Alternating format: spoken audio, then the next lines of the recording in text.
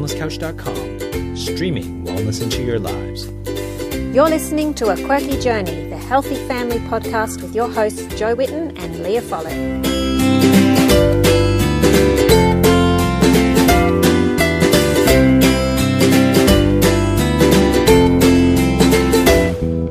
Welcome to A Quirky Journey. Join us as we share our family's journeys to good health. You'll find plenty of inspiration, tips and recipe ideas as well as stories from everyday people who've struggled and overcome health problems and diet challenges in their own families. I'm Jo Whitton, author of the blog and book Quirky Cooking, and I'm here with my ridiculously lovely friend and co-host, Leah Follett. Did you like that? I wrote did. the intro, so I decided wrote that I would put that in there. I knew you wouldn't read it before we started recording. I love it. I love it. she is ridiculously lovely, guys. I know. I am. Ah!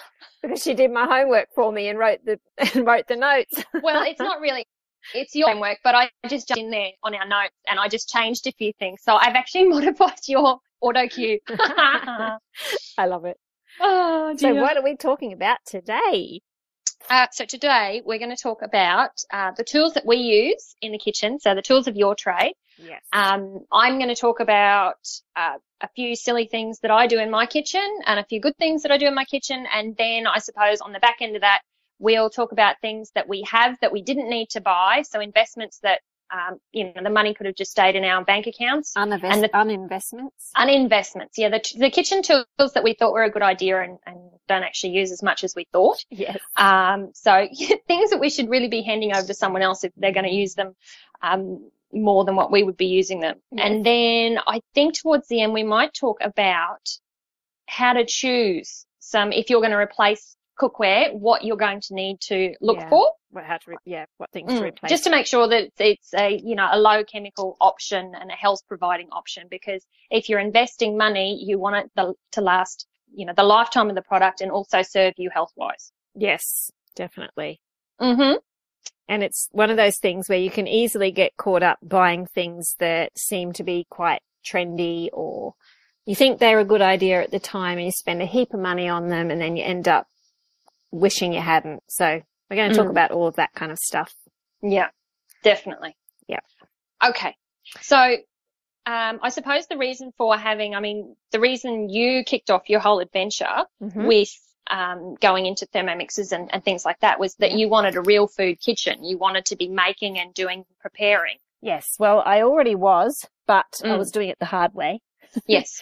So, um, about, let's see, probably about 13 years ago, um, I started getting into all the bulk buying and, um, buying grains and grinding them and making everything from scratch. And so I bought a big secondhand grain grinder with Okay. the, with the big stones, the Retsel brand, you know. Oh, okay. Yes.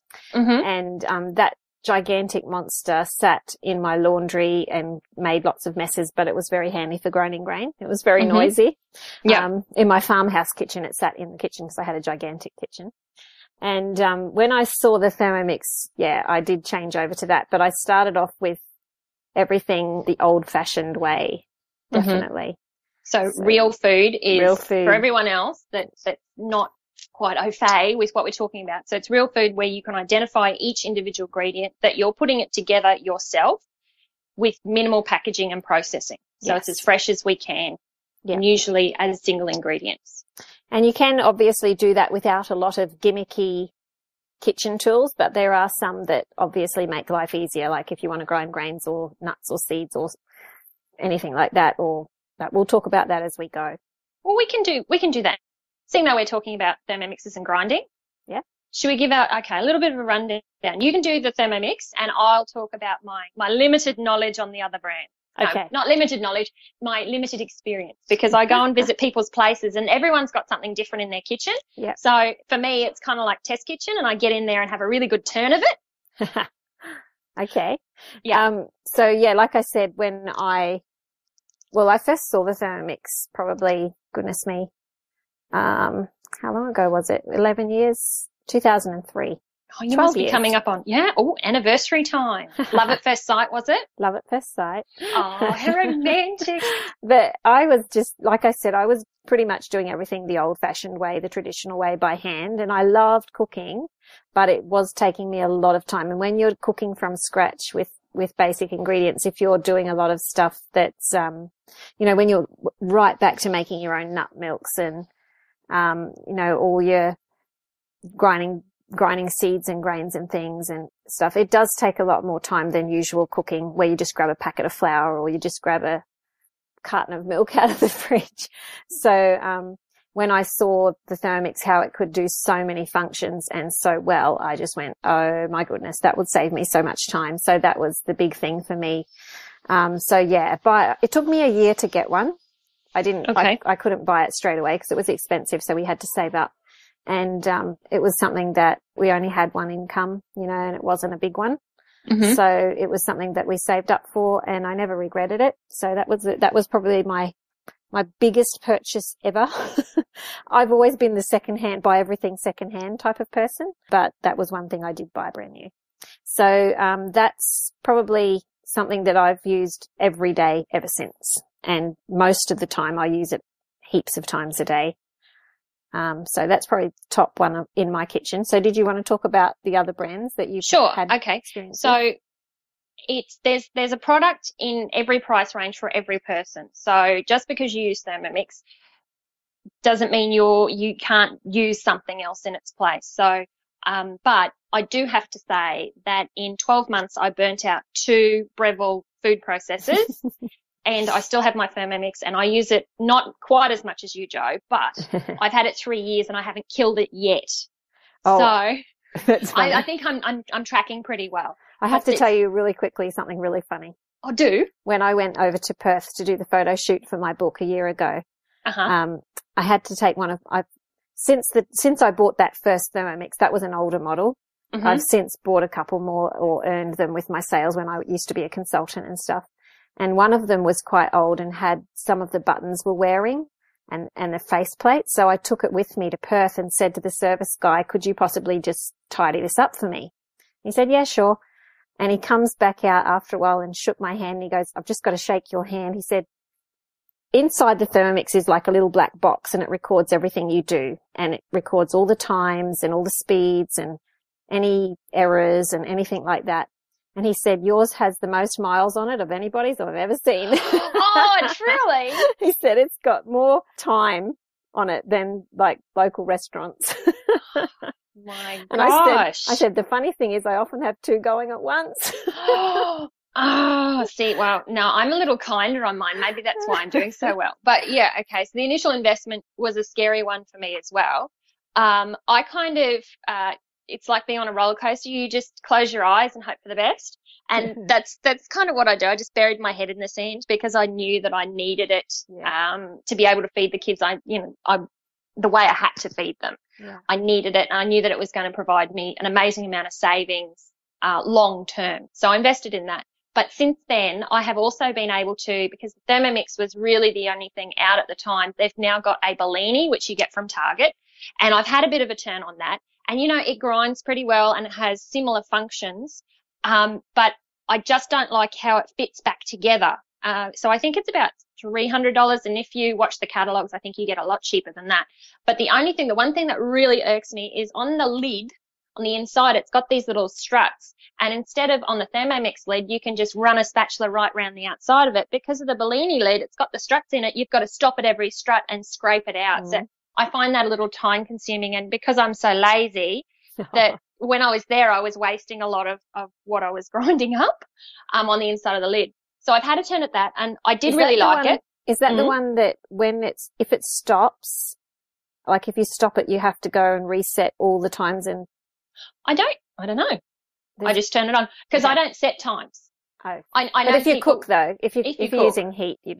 because I Okay. don't set times. Oh. I, I know But if you people- cook though, if you if if, you you are cook. using heat, you do. Well, I just grind stuff in mine. Okay. Okay. I just, I, when I did use that, I just, just ground up my basic stuff. I didn't do actually, actually, I don't use my Thermomix for cooking really. I make Oh, a soup, but I don't use it for anything else. You're going to have to show me how to use the Varoma. to. You're going to have to come to my class. Well, actually, I should come to your class. I should find out how to use my Thermomix. Next week. Next week. Yay! Oh, is it really next week? It's next week. Are we having a sleepover next week? Next week. Oh, I haven't looked at the calendar in a week then, have I? No. You'll have to send me a text message and tell me when you're getting off the plane. Do that. I will Definitely I do that. That's I want to important. be picked up. No. Okay. The other brand that I have tried is the Thermo Chef. Yeah. Um, and my mum's actually got a Thermo Chef and she loves it. And the only flaw, it does, has the weighing capacity as well. I think the Bellini by memory didn't have the weight in it, but it had the heating element. So you couldn't weigh in, in increments as you pour things in. Um, so the Thermo Chef is the closest I've come. Um, but it's just, it's still a little bit different, a little bit clunky putting it together. And uh, she's only had that for months and I haven't really, I've had one turn of it. So it hasn't been amazing yet, but I have to get back to everyone. But it's, you know, like it's, I think Bellini's at two, $300. Then you've got a five, $600 purchase in the Thermo Chef. And then you've got the, what's that? The Thermomix, the one that we have. I forgot. Forgot. Something shiny. Oh dear. There we go. Um, so yeah, then you've got your Thermo Chef, but you've got an amazing warranty with the Sherman Thermo Chef, and I'm not sure the Thermomix, and I'm not sure that the others offer the the warranty and the backup that Thermo Chef actually offer. Thermomix. Thermo Mix actually Well, offer. the good thing Yep. about Thermomix is too is you've got a consultant alongside helping you learn to cook with it, which you won't get with anything else. Oh, I have to admit, I must have been the worst person to sell to because all I wanted was the bloody machine. Sorry, Oh, my well, swearing. Just you- drop the machine off. That's all I wanted. And she wanted to come in and show me everything. I'm like, no, no, just, just leave me with my box. Leave me go. Go, be gone. So I probably, I didn't actually pay much attention to anything she was doing, which is probably why I don't know how to use my That's probably why you don't cook. Well, I do the, I do the steaming you. in it. Like I steam pumpkin and basic Okay. things, you know, Yeah. for my soups and that sort of thing. But yeah, I haven't done chickens and I haven't done all the, the other things. And I don't Yeah. think, I don't think I have my cookbook either, any, either anymore. I think you I gave it to someone. I have yours, Yes. but you know, the one that they give you, I think Yeah. I got the travel edition. Um, but yeah, I don't have that. Oh, so, you know, I oh. just got mine for grinding. Yeah. Anyway, moving on. I don't know what we're up to so now. we're talking about supposed to be talking about what's the most important things in our kitchen. Oh, let's do that. Okay. Yeah. So I'm guessing that your most important thing is a Thermomix. That's number one. Yeah. And And what next? number two would have to be my Le Creuset pots. Uh huh. I Good just love one. them. I think we Mhm. talked about these last week, but Yes. And I think I, I think I could have maybe stolen one of them in my suitcase if you were oh, they're so, so, good. dedicated to looking at them all the time. I just They're so I pretty use- in your photos. I just use them every single day, hmm especially because you know since being on GAPS, I've always got something slow cooking. So Yeah. um, and because probably the other, I don't know what order to put these favorite things in, but anyway, You don't have to have an order. I Good. top five. Top okay, five. top five. Okay, Mm. next one would have to be my Falcon oven. Absolutely love my Falcon oven. Yeah. Even I did that. I think I snuggled your oven. I think you did. I think you would have There's a- it if you could. There's a picture of me snuggling your oven when you're not looking. That that was Oh. something that I never ever imagined having in my wildest dreams, and it was. I didn't know they existed. Oh, I did. I did. Oh, We when I was a teenager, we had similar sort of thing that was run on Coke. So like you know, Mhm. coal, not Coca Cola. cocaine. no, not that either. I'm just like run on coke. Oh my god, that'd be oh, that's the- interesting. It's the coal sort of stuff that's wet. Oh, Yeah, you hose it. It, Whoa. it actually stays That's- wet. that's Anyway, something it I've, looks like- I've, I've not seen that before. Yeah, it looks like coal. And then all our hot water um, was heated by the, the oven, the stove, sorry, you know, going. So you had it going all day, every day, summer, winter, rain or shine. It was always going. And it had the warming oven and everything. And so I loved that oven. Um, That Mhm. was when I was growing up as a teenager. And um, so when I saw these Falcon ovens and all those, you know, like it's pretty much like the Aga. Well, it is. Okay. It is an Aga, but it's just the Australian version. So they Mhm. they import the cast iron frames from Yeah. England and the bits and pieces, and then they put it together over here and sell it as a Falcon. So I've got the big double door one with the how many things has it got? One, two, three, four, five, five burners plus a teppanyaki plate, and it's big. So Yeah, one is of them's a wok burner. Um, but I use that all the time, and the good thing, probably my favorite thing about it, besides the fact that it has two different, two separate ovens that do lots of groovy things, Mhm. is that the gas cuts off automatically if the flame goes out. Yeah. So um, I don't have to worry about it. I just put things on, put it on very low heat on a tiny burner and just leave them cook for all day, all night, and it's no problem. So I use that in my le creuset pots a lot. Mhm. Um, and I've also got like the frying pans and stuff. Slow cooker, definite. That's something I would not be without. I've always used slow cookers, always had them, and you can get them quite cheaply. Just make sure you don't, we'll talk about this a bit later, but just make sure you don't get the Teflon ones. And I've got a Sunbeam Banquet, which is six litres with the removable ceramic bowl. And I also love my, uh, what else have I got that was my favourite? Um, I'm your favourite. you're, you're my favourite, but you don't live in my kitchen. I'm getting jealous. You'd be really nice. We're nice. talking about our favourite, then you Oh, didn't mention I would, me. I would love for you to be in my kitchen, but I know, I know, I know. you might be Good times. good helper. Yeah. Okay, is it my turn? Oh, dehydrator. Oh, the dehydrator. dehydrator. And again, this is something that I grew up with all my life. We always had, except when I was a kid, my, my dad made our dehydrator. So we Oh, had, was it a solar one? no, it was even simpler. Um, we lived in Cairns, so that's hot, hot, hot. You know, lots of sunshine, Uh-huh. although also lots of rain showers. So you have to run out and grab the drying fruit and dash it inside. But, um, we did that a lot.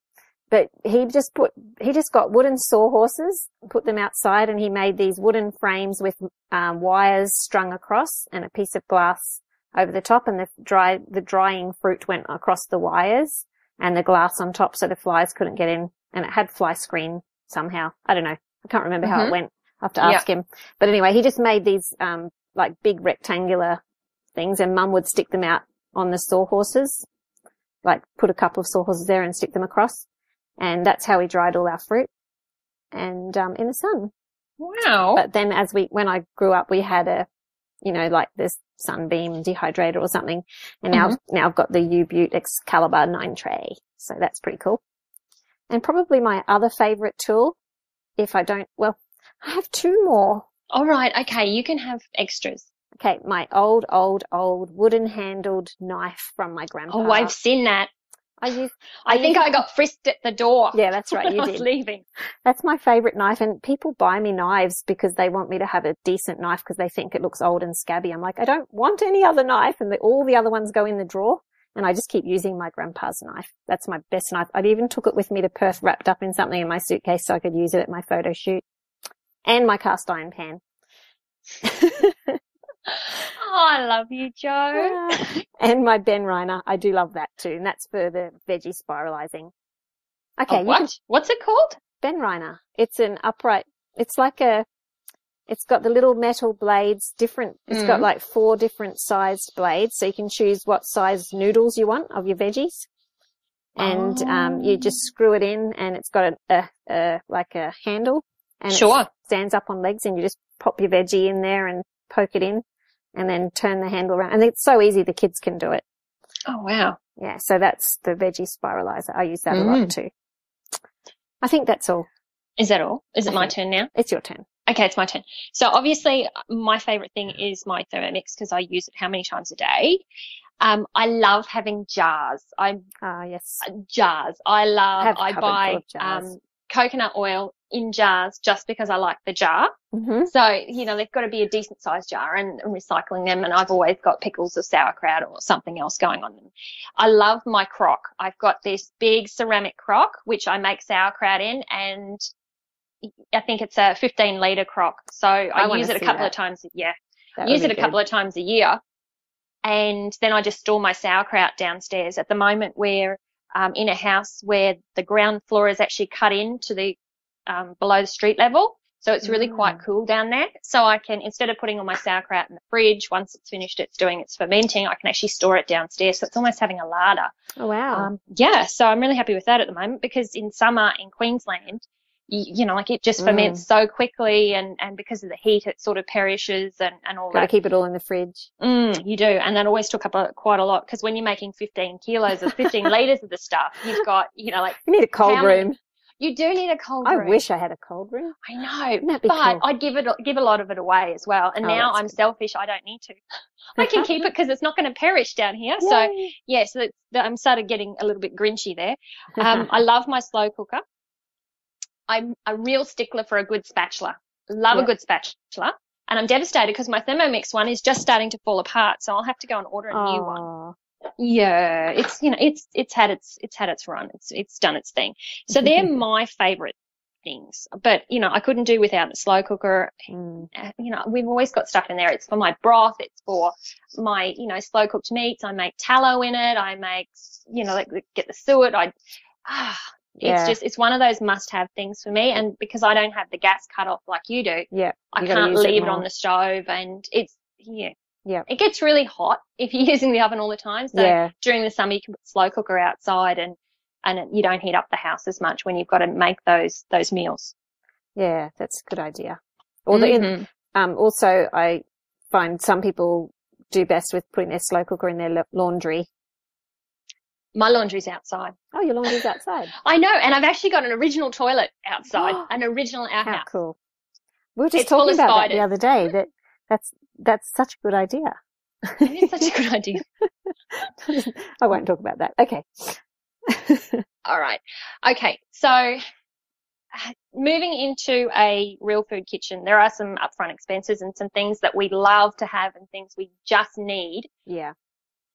To get by. But, you know, there's something on every level of finance for everyone. Yeah. And What we didn't is- start off with everything. no, and sure. we didn't. We've built up for this and And- it's, you know, this purchase and, you know, like you forego getting a nice new wallet for you for, for Christmas or going out to dinner or whatever. So you save up those things. Well, that's the thing. We never go out for dinner ever. This is dinner. No. This is the restaurant here, so it needs restaurant quality equipment.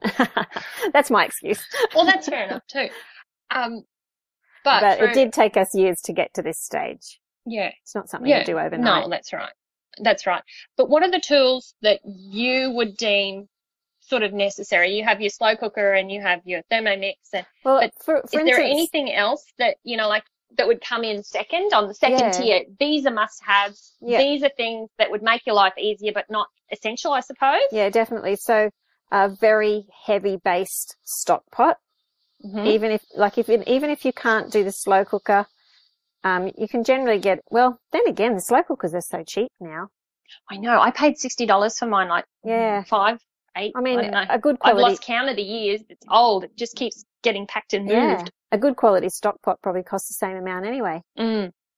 Um, but either one, because you need to have something that you can do your broths in Yes. and, and your soups and the slow cooked things.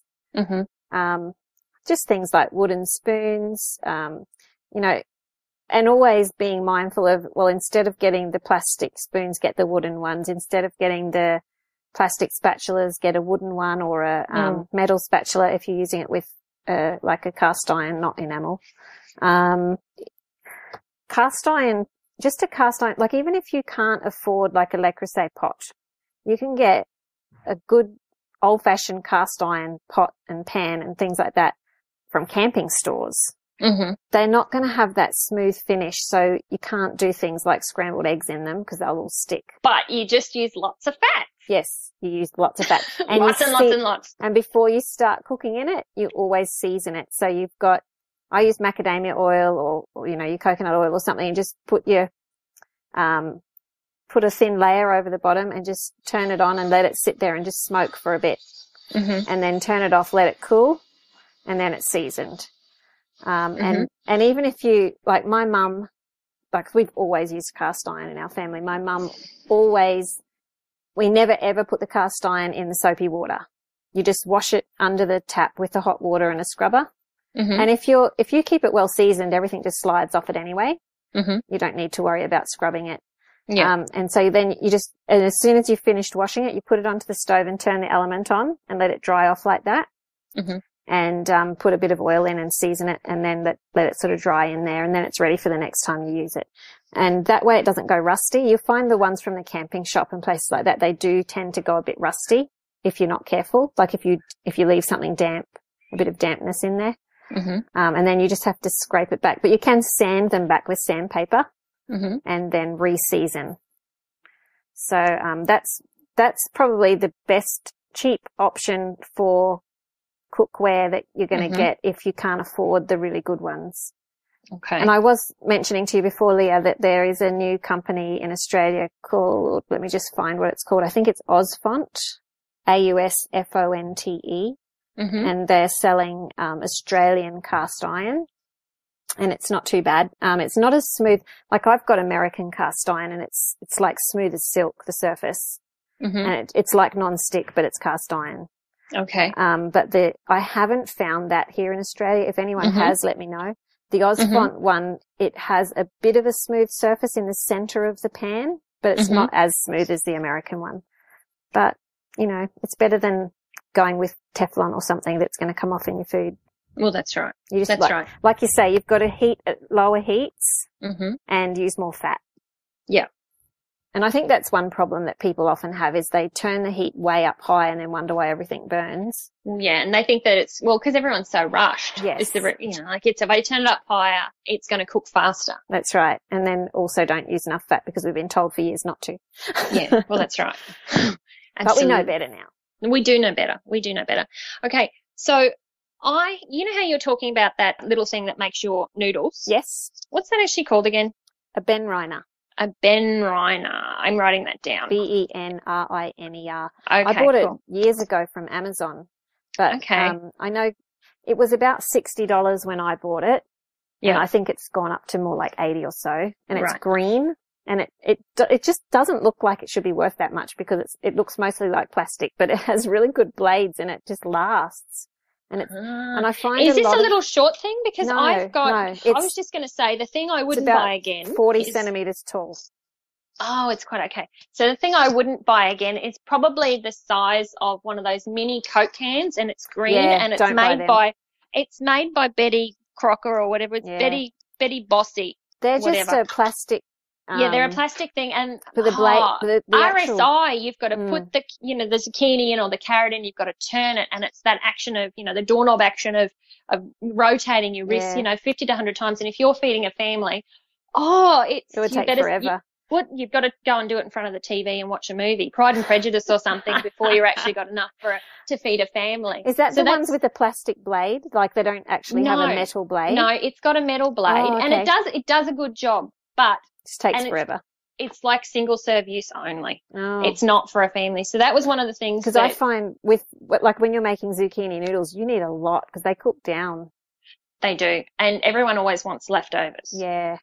But also, if you're putting a harder vegetable in there, so like to get the beetroot spirals or you know the Mm. carrot, those harder vegetables are even harder to turn. Yes. you just don't have your purchase on that. So that would be one of the things that I bought that I really didn't think I need. Yeah. Uh, I have also, I, I really like my dehydrator, Jo, but at the same time, hmm I'm cooking and eating fresh stuff every day. And Yeah, because same. we don't eat the fruit, we don't use it for the dehydrating. And Yep. we only make jerky when I want to make pemmican. And pem- for everyone else, pemmican is um, half quantities of jerky and half quantities of, you know, uh, tallow, beef tallow, ground up together to make a like a travel food bar that, you know, so the meat doesn't perish. Mm. So You don't that add, was the you don't yeah. add dried berries to yours like the Indians do?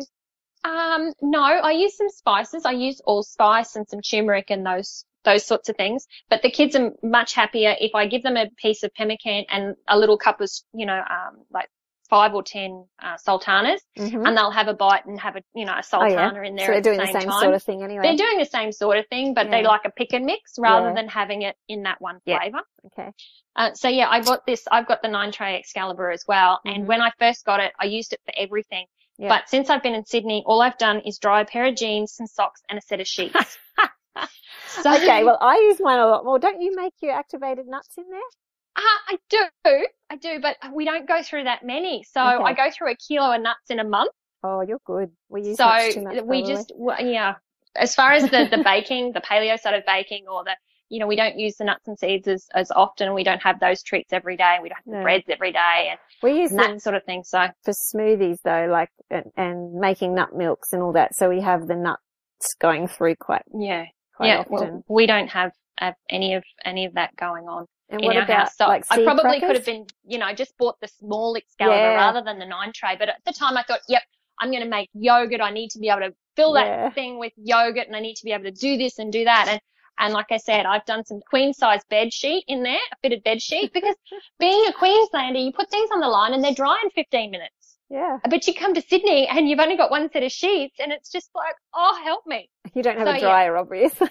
No, in these houses, there's no room for dryers. Like Wow. the laundry is outside in the courtyard and the lawn, the washing machine only just fits into the little hole where the laundry thing is. So there's no Ah. room for a dryer at all. Wow. So adjusting to that, now I'm prepared. I just went and got another set of sheets. I waited for them to come on sale at Yeah. Target because there's no way I'm paying full price for, no. because I really like a thousand percale sheet. I'm a bit of a sheet snob.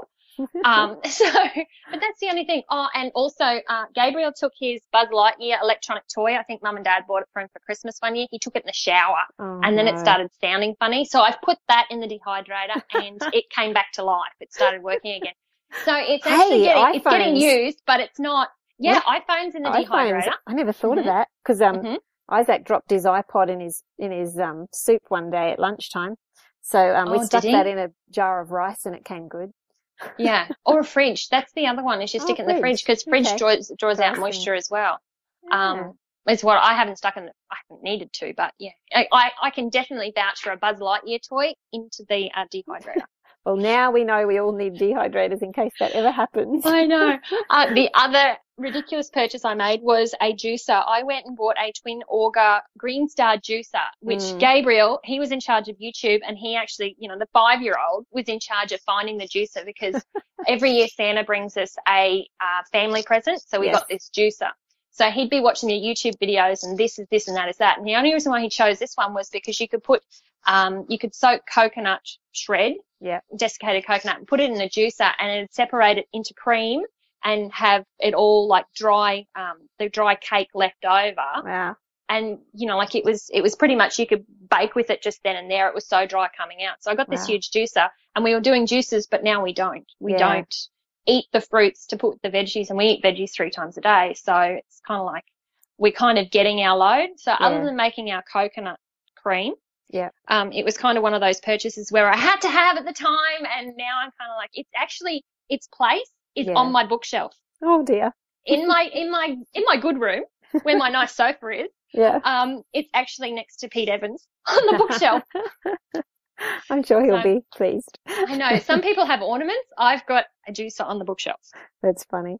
Mhm. I, I must admit my juicer stayed in the cupboard. I never, I had, I think I probably used it all of five times, but it wasn't, it wasn't the really super expensive one, but I just found it such a pain to clean. And when I figured out juices in the Thermomix, I went, yeah, that'll do. Yeah.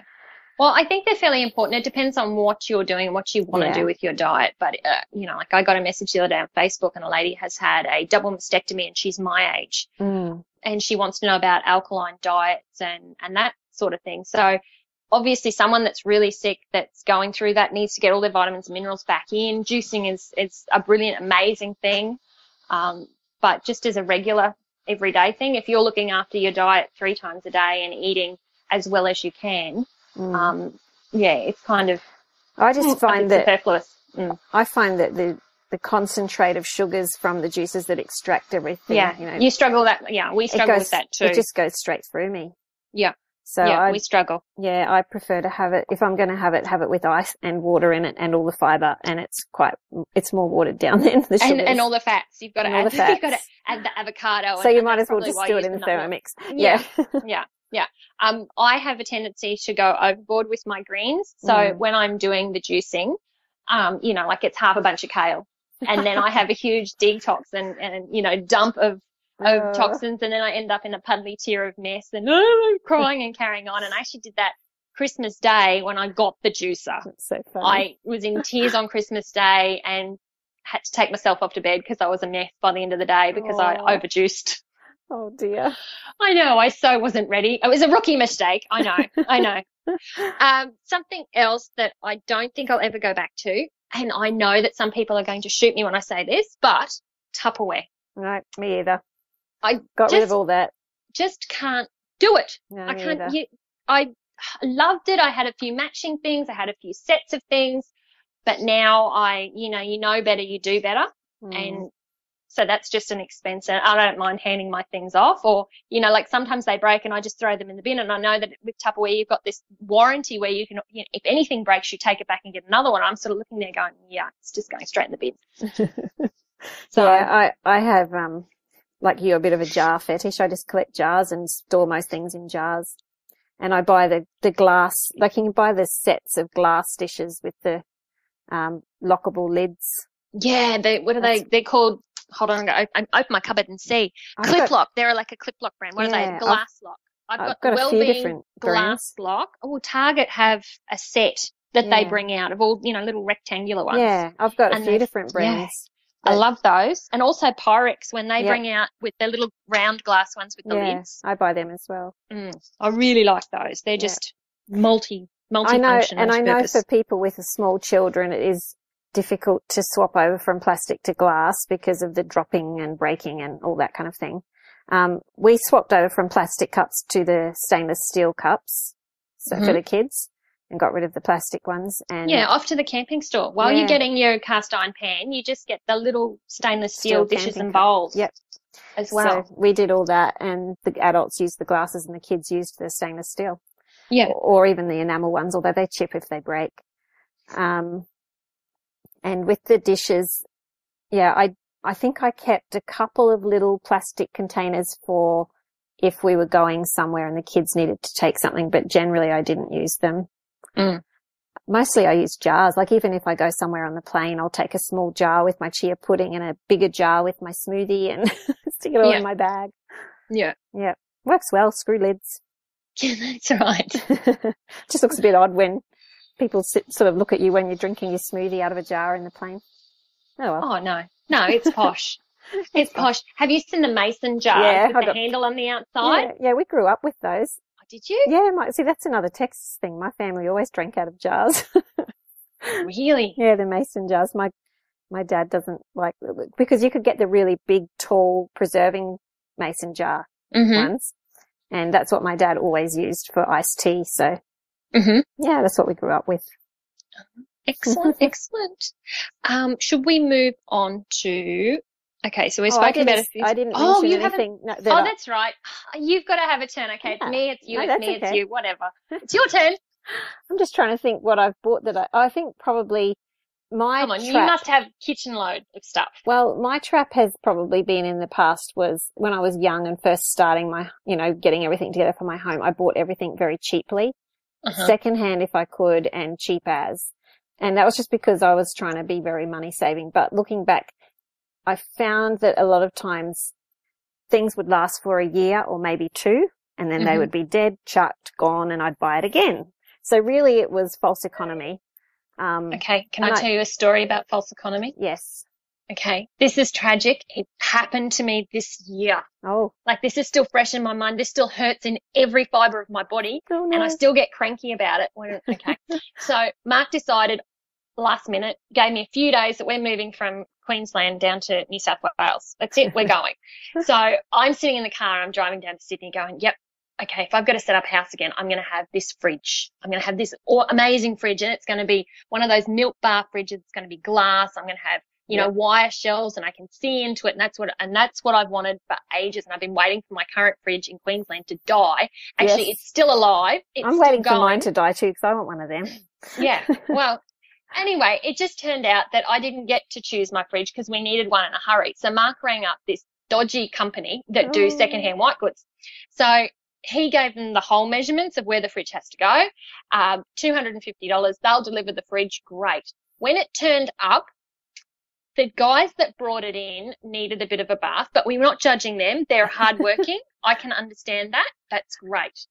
Um, but they wheeled it in, and of course, I already was pretty cranky because I wasn't getting the fridge I wanted, and I wasn't getting the fridge I'd actually. I hadn't even laid eyes on this thing. He just paid over the phone, and they were dropping it off. So I didn't want to know the fridge anyway. When they put it in the hole, it was filthy. The outside of the fridge was Oh, filthy. When I opened it up, I, they had all the sauce in the door of the fridge, and it was Oh. just an absolute mess. And I was just, I was just so devastated and heartbroken. So I started cleaning it. I found cheese slices in the fridge, and the ice cube tray still had ice in it. So I'm sure that I ended up with someone's tray, uh, you know, refrigerator Ew, from from the tea room. that's. That's what I think that they've done. They've just gone, yep, there's a crazy lady here. She needs a new fridge. There, we'll give her the one out of the office or the one out of the tea room. So I got this fridge. I got over that once I cleaned it Yep. and then the cockroach problem started. Oh no. Yeah. I didn't know. Do you know what German cockroaches are? Yes, the little horrible ones. Oh, I had no idea. And of course, me being so uh, particular with my pesticides and my cleaners and my all my other stuff, I couldn't bring myself to buy a tin of Mortein. So I was doing all the natural stuff. And within three weeks, I was infested. And the Oh, nest no. site was the refrigerator. Oh, So the fridge cost us $250 and then it cost us another $180 to get the fridge treated and get the kitchen all back in working order. Oh no. oh, secondhand things, you got to be really careful. Yes. You got to see it first. But even then, that was something that I couldn't You wouldn't have seen. known. But I tell you, oh, strain on my marriage. strain on my marriage. I'm just about to cry. Oh, Oh, having don't cry. now. Don't cry. so yeah, I go to the fridge and I think, oh, you, I hate you. oh, But that's all right. It's keep it's serving its purpose at the moment, and one day I will find my perfect fridge. You will one day. I will. But yeah, Happily, and they'll live happily ever after. Uh, happily ever after, like you and your Thermomix, it'll be me and my fridge, and we'll That's have happily ever after, and it'll just be a beautiful thing. Oh. So yeah, I'm so with you on the whole. Make sure I mean, you know I- the second hand thing. You yeah, do just your be careful because I do. Mm. I mean, I love It Buying ends up costing you more. I love I love secondhand shops. I love secondhand clothes, and I love looking for treasures. But yeah, if you be- can't see all the inside and exactly see everything, every surface careful. that you're purchasing, then not so. or good. if you're not an electrician and you don't know what the lifespan is of a product, maybe yeah, yeah, yeah. save your pennies and get get the good quality stuff. And- and Otherwise, that- you and just the thing is, you know, if you've got a basic set of pots and pans and knives and cutting boards, you can make do. Bowls, you know, really basic Well- stuff. You can make do and save your money until you get the quality.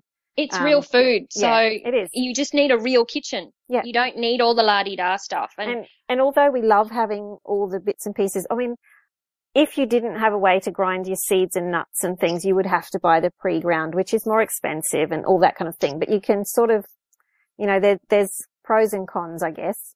But or you could just not have nuts and seeds in your diet, That's which right. is what pretty much what we do. well, They only get wheeled out on special occasions. well, that's it. And with GAPS kind of cooking, Mm. anybody could do it with any kind of kitchen. You could do it camping. It's Yes. so simple. It's just yes. meat and veggie. If you just concentrate on meat and veggies in broths, um, you know, anyone can do that anywhere. Mm. It's only when you want to start doing a bit more, you know, breads and milks Wow. and things like that that you start needing all the other stuff. Since having this Facebook page, I've actually done so much more cooking with the nuts and the seeds than I have done in ages. And it's Mm. kind of like, oh, I have to do another thing. And yeah, I'm just like, and then we've got to eat it. And because we're not used to eating that much, it's kind of like I make this big pie and we just eat like an eighth of the pie between the, you know, the 4 I'm sure us. you can find some takers. Just say, okay, Well, everyone, yeah, it's my really good address is No. because people come to visit like you yeah, and then I get to try all my stuff out on, on, on them. And I've Yes. always, and usually we get people, you know, take us down and they'll stay with us a few days and do some work in the city and then they're off again. So I get to pack lunches for them. yeah. So I think they're go. thankful that I have, you know, I've been pushed to going and doing these other things and That's having right. little adventures. Yes, So, yeah, it's all good. That is good. All good. Yes. Um, are you finished? I think so. I can't really think of any terrible mistakes I've made with things I've bought, but probably the juicer was the main one. Yeah. Yeah. Okay. Well, for the people that are going out and, and probably replacing things or the things that they want to buy, maybe we should talk about now Mhm. um, what to look out for because we've done we've done quite a lot of talking about the importance of pots and pans. Mm. We'll talk about the surfaces maybe Yes. And the difference between surfaces or or what we think about them as far as their health giving benefits. Mhm. Um, so the brand you mentioned that was an Australian brand. Yeah, Oz. And it's just it's just a cast iron, isn't it? Mhm. It's not cast iron with an enamel coating. No, no, just plain. It's the sort of thing. It's kind of like what you'd see in a camping shop, except Yeah. a little bit smoother and better shapes. Okay, so a better quality. Yeah. Okay, cool. All right.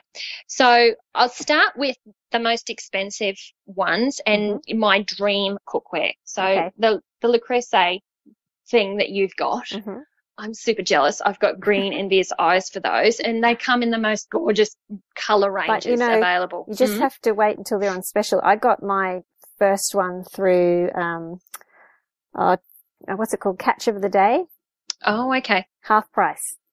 Wow. And they quite often do it. Okay. All right. So Yeah. I just need to get on there. Catch So- the importance of getting these things and doing the right thing when you're, you're doing an investment is that we're trying to avoid, what we're trying to avoid is the fluorocarbons, um, PFC. I'm not sure what that stands for, but I keep seeing that in my research. I know what it stands for, but I'm not going to say it. It's too hard. It's too long. Uh, it's too long. Um, so aluminium, those sorts of things. Yeah. Now, everything's got a heat at which it's safe at. hmm And if you're not using your cookware in the um, the right way, and I, you know, like if you're buying um, even baking sheets from Coles, those metal ones, they Yeah. don't say to cook it, you know, keep it under a certain temperature. And sometimes your oven keep, creeps up a little bit, especially when you're doing roasts. But Mm. once you take an aluminium tin over a certain heat, it starts doing this off gassing thing. Yeah. Um, and also aluminium, as soon as you apply heat, that aluminium can be transferred into your food. Mm. So it leaches with heat and with, with acids and, and that sort of thing. So then you're consuming the aluminium in your food. And, you know, sometimes you've got people like my, my children specifically that like to hoard heavy metals. Yeah. Um, we all have, we have heavy metals in our environment. So we've obviously got lead, we've got, you know, aluminium, we've got, you know, irons and things like that in our soil that we come in contact with, but we're not eating copious amounts of it. And if you're baking with it at every meal and you're trying to do a recovery diet and, GAPS and you're doing your slow cooking and, and you're using an aluminium pot and you're doing broth in an aluminium pot, Mm. you're essentially super, you know, infusing the aluminium into the pot and it's kind of going to cause you some, some problems. You're doing the absolute best for your body, but at the same time, you're adding to your chemical load. Um, so it's kind of counterintuitive, I suppose. yeah. Um, so aluminium is quite a, you know, a toxic thing and, and it's in everything. Um, I think Jo, the other day you mentioned when we were doing, we are talking about chickens and how you cover a chicken with aluminium foil Well, um, sometimes. sometimes to keep it nice and moist. yeah. Yeah. So it's aluminium. Yeah. It's aluminium. So, and that was something that I, I need to nick my mum's roaster. You need to give mum's roaster. That's right. So, you know, like we, when we do broths and stuff, we do them in the slow cooker because, uh, well, not broths, sorry, roast chickens. We do them in the slow cooker because if we're not roasting it. them to keep them nice and moist, Moist. or if we're doing the oven, we do them breast side down and, uh, you know, those sorts of things. But we Mm. can't cover them with the aluminium foil because, well, That's for me, good it's fear yeah. of, of leaching. Um, so that was kind of, that was something that I just wanted everyone to be mindful is that they can be adding to their load and not even meaning to be. Mm. And from that, you know, if you're worried about aluminium and you think you've got, you know, you can get aluminium poisoning and there's a whole heap of symptoms that you can look at. Um, you know, and it's like seizures and speech problems, brain disease like Alzheimer's and dementia and Parkinson's disease are all linking back to an excess amount of or accumulation of heavy metals, including, you know, this aluminium in the brain. And, you know, like you get aluminium in your deodorants Mm. as well, um, and in some antacids and bicarb is a big one. Yep. Um, if you go to the Whole Food store, you can see that on the packet now, I think Bob's Red Mill and there's a couple of other ones, Honest to Goodness, Mm. um, they have, and it says on the outside of the packet there's aluminium free. So I'd be wary of anything at the supermarket if it doesn't say aluminium free. If it's a bicarb soda that you're using for cleaning products, then maybe you could, you know, use that as a less expensive version, but I wouldn't be cooking with it. I wouldn't be adding that in or I wouldn't be brushing my teeth with it or any of those other things. Um, Did you want to mention the Blantz one? oh, I love Blantz Australia. Yeah. oh, they're so good. You can get Epsom salts and all kinds of things. It's, uh, obviously, Blantz Australia is an Australian product and you can get it in bulk.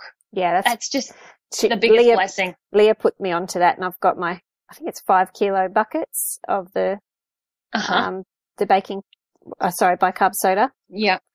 and Yeah. it's, um, all aluminium free. So yeah. Yeah. So that's really important. And if you're Um, wondering why in the world you would buy five kilos, it's because you use it in the bath for a detox bath as well. but it doesn't go off. no. It's in these special tubs and, you know, like I've, like three years, yeah. you know, so like, yeah, I like to think of myself as a, a, a long endurance customer, but really, Yes. and a repeat customer, but I only had to buy through- through them twice Yeah. over this But entire thing. But you've told a lot of people about them. I've told a lot of people, oh, I love Blantz. They are so good.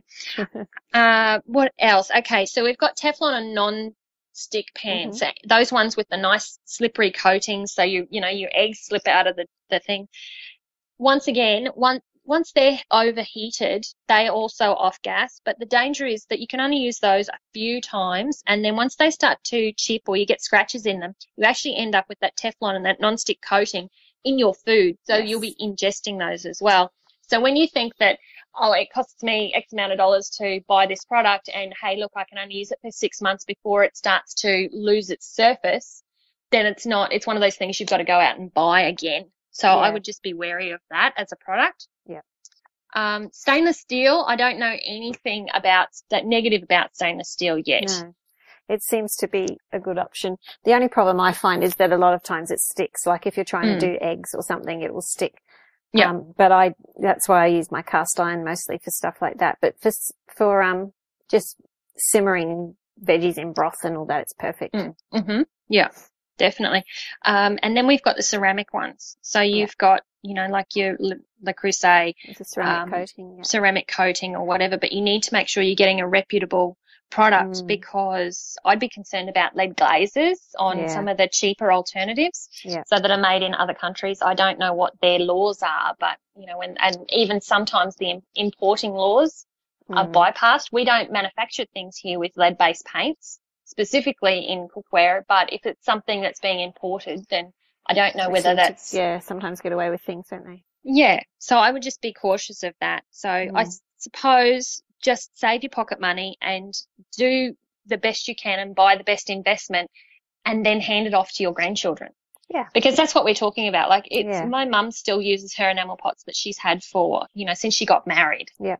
Well, we, when I got married, I got given, my grandpa was always the one that collected all this stuff. And Mhm. he gave me a set of stainless steel copper bottomed Paul Revere pans. He gave me my knife. He gave me, you know, it was all, and the cast iron pan, that was all from grandpa. He passed Mhm. all that and it's all secondhand, been used for years by other people and loved. But Yeah. it's such good quality that I could, I'll be passing it on to my kids. Yeah. Yeah. And I think that's the idea That's of it. Like. We have so few um, traditions and relics that we pass on because Mm. of the expense of buying the, you know, the good quality ones. And we've got such a range of, you know, cheaper, lesser quality alternatives that I think we just, as a, you know, we're more disposable and we Mm. don't think to the future and think, well, we're going to pass this on or this might become an heirloom thing. You know, it's crazy to think that a knife in a family would become an heirloom item, but that's essentially what it is for you. Yeah. And my mum's got a heap of them from grandpa as well that Mm. they're they're starting to get so worn from being resharpened and resharpened that they're getting very thin blades, but they're still getting used all the time. Yeah. Mm. hmm Um, so I suppose we can talk about, okay. So I did mention that you can have, end up with heavy metal poisonings. And if anyone's got any questions about that, that's kind of something that you need to go and talk to, um, you know, a naturopath about. Uh, and you can look in and get that checked out with hair analysis. They'll give you an idea of what levels of, of what heavy metals you've got in your system. Should But- mention too. Yeah. oh, sorry, you go ahead with the heavy metals and then I'll. Well, I was just going to say that it's not a concern to everyone. no. Well, it is a concern to everyone. As long as you're cooking with uh, appropriate cookware, you're aware you've cut the aluminium out of your, you know, your deodorants and, and all those other things. You're aware of what's in your environment. Then I don't see any reason, unless you've got, unless you're already very, very damaged and you've got to work your way back Mm. and you want to do it quickly. I think that's when you would go to a naturopath. But for everyone else that's still functioning really well out there, that's doing their best and that's eating well, I think that you're just being aware of few foods that actually help you detox and move some of those heavy metals, um, you know, from the bloodstream and, and just help support secreting. So cilantro and garlic, Mhm. um, selenium, chlorella, and then all your veggie greens. So yes, we come in contact with these things in our environment naturally. And as long as we haven't got them in our kitchen, and we're, you know, reinforcing the, um, you know, the ingestion of those things. And we're just eating a diet full of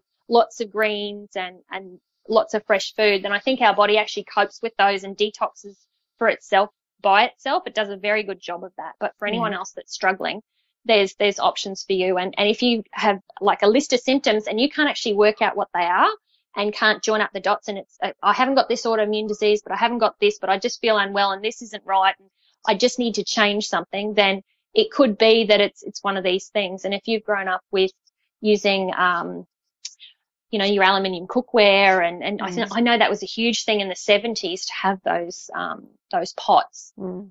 So whether or not that's a path that anyone wants to go down to, but you can definitely do a natural chelation by yourself in your own kitchen and see how you go with that. And for everyone else that needs extra help, you need to go and see a naturopath or get some sort of support um, elsewhere. But there's still Yeah. natural options. Yeah, Give the body good. what it needs, and it will just do its thing.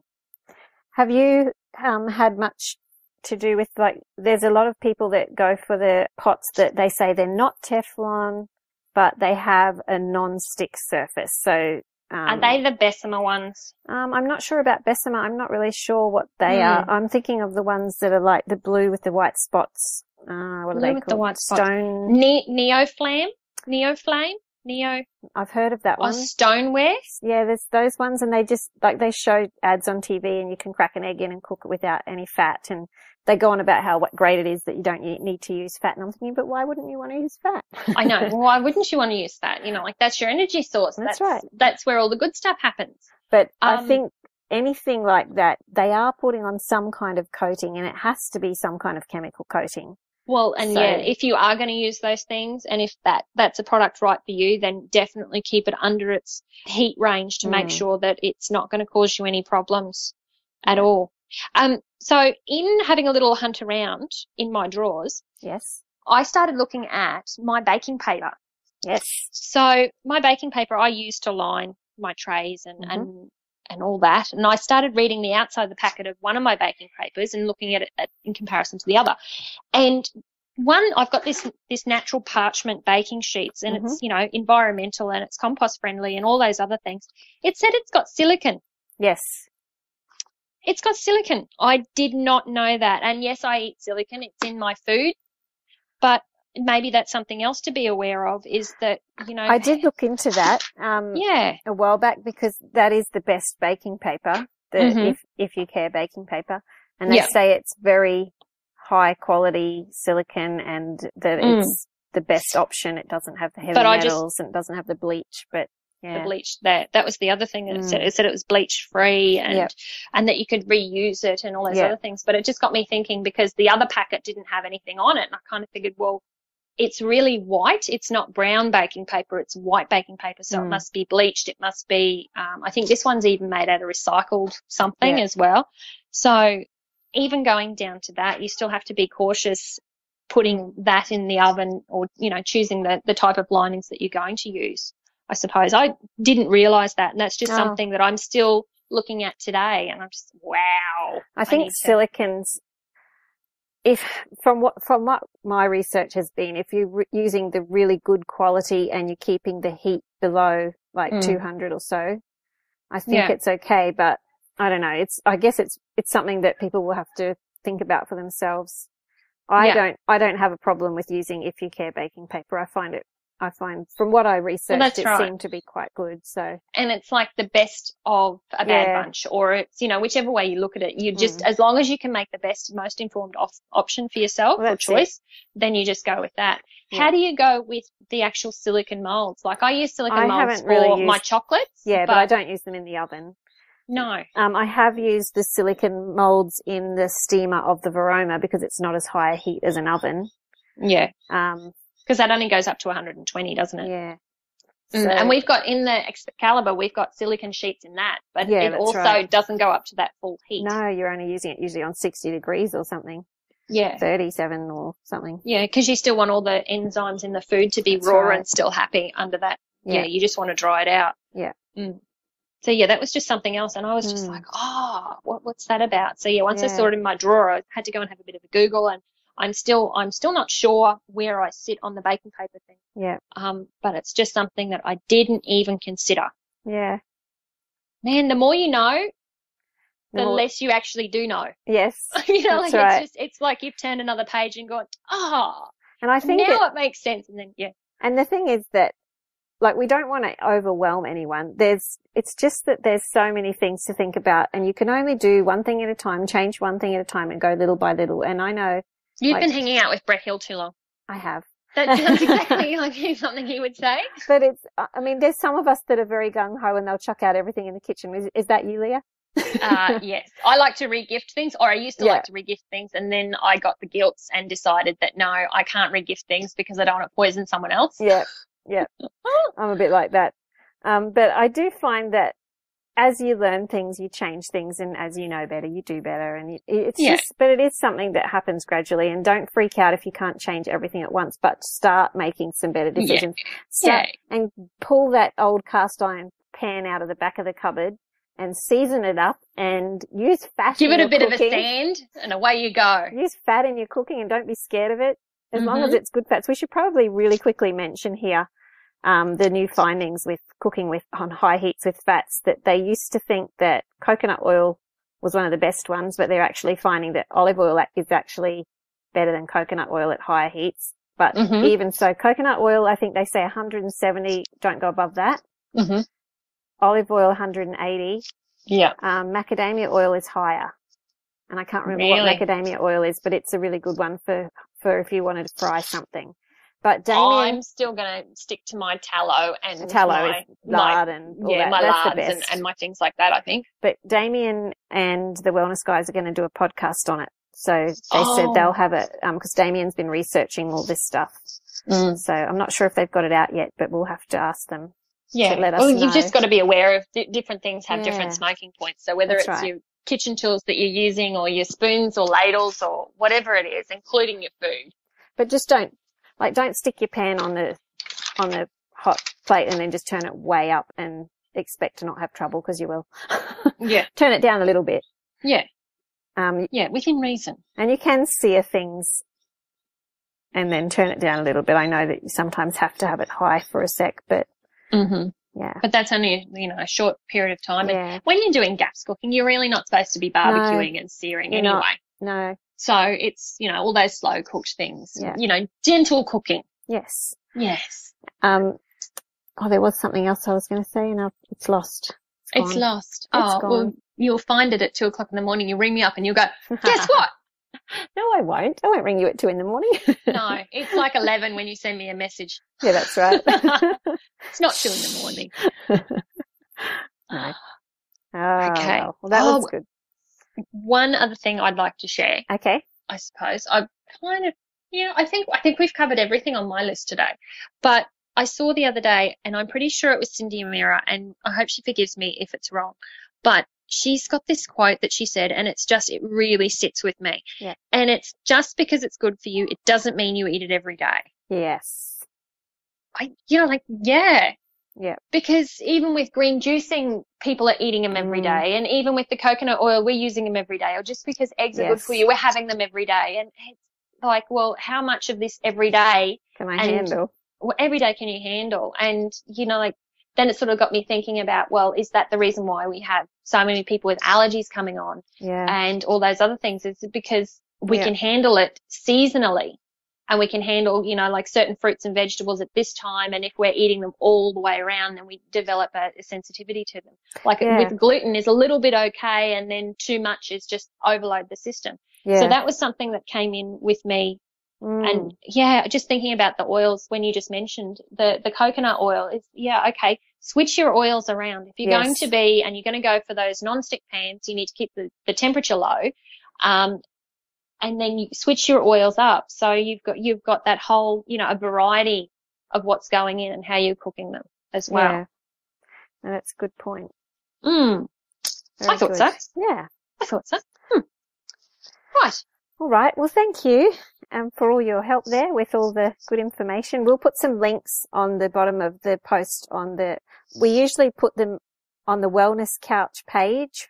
So if Yeah. you are listening to this from iTunes and you can't find the links, go over to the wellness couch and look for a quirky journey on the wellness couch. So, um, thewellnesscouch.com backslash a quirky journey. And then you'll find when you click on the um, podcast, there'll be a little blurb and there'll be links at the bottom. So that's probably for us that at the moment, that's the easiest place for us to put them because both of us are busy and we're not getting blog posts done each time we do a podcast. No, we're um, struggling. Yeah, we're trying to keep up with our homes and kids and homeschooling and cooking and everything else. So please excuse us. yeah. Yeah. We're just a pair of mothers. yeah. Be gentle, be kind. Be very kind. So if we do mention a link that you can't find, just send us a message on Facebook or something and ask us about it. We'll try and get it up there and hand it on to you because sometimes we forget things. but um, quite often I do anyway. I know, I know.